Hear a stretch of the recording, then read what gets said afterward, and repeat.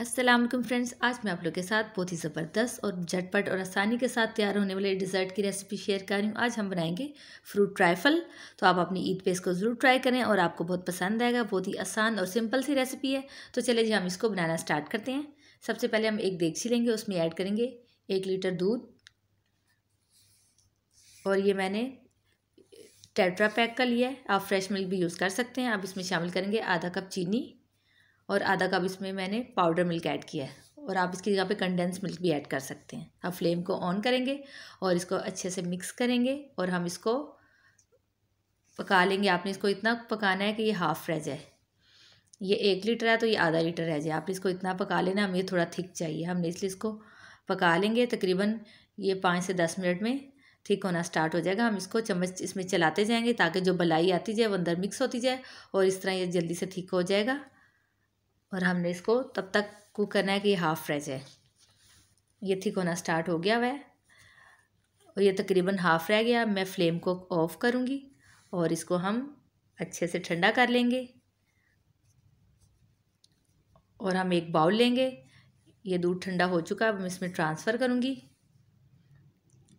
अब हम इसमें शामिल करेंगे डेरी क्रीम डेरी क्रीम का छोटा पैकेट मैं इसमें ऐड कर रही हूँ। और आप ये कोई सी भी ले सकते हैं। और मैं इस मिल्क पैक की यूज़ कर रही हूँ और आप ऑलपर्स की भी ले सकते हैं। अब हम इसको अच्छे से मिक्स कर लेंगे। क्रीम को हमने इसके अंदर, दूध के अंदर अच्छे से मिक्स कर लेना है। और इस तरह से मैंने सारा इसको अच्छे से मिक्स कर लिया है। अब हम इसमें शामिल करेंगे। सेब, ये एप्पल का एक कप मैंने चंक्स छोटे छोटे कट करके इसमें शामिल कर रहे हैं। और ये तीन बनाना उसको भी मैंने कट करके इसमें ऐड किया है। ये हाफ़ कप ग्रेप्स लिए हैं, ये थोड़े बड़े साइज़ के थे, इसलिए मैंने इसको छोटा छोटा कट कर लिया।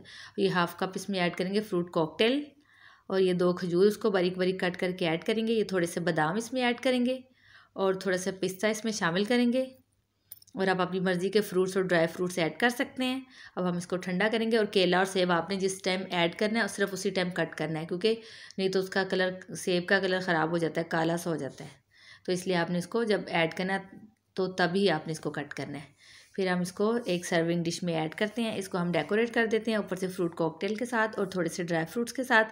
फिर हम इसको तीन से चार घंटे के लिए फ्रिज में रख देंगे। ये ठंडा ठंडा सर्व करेंगे। आप लोग इस ईद पे ज़रूर बनाएँ। ट्राई करें। इंशाल्लाह फिर मिलेंगे किसी नेक्स्ट रेसिपी में। स्टे सेफ़ अल्लाह हाफिज़।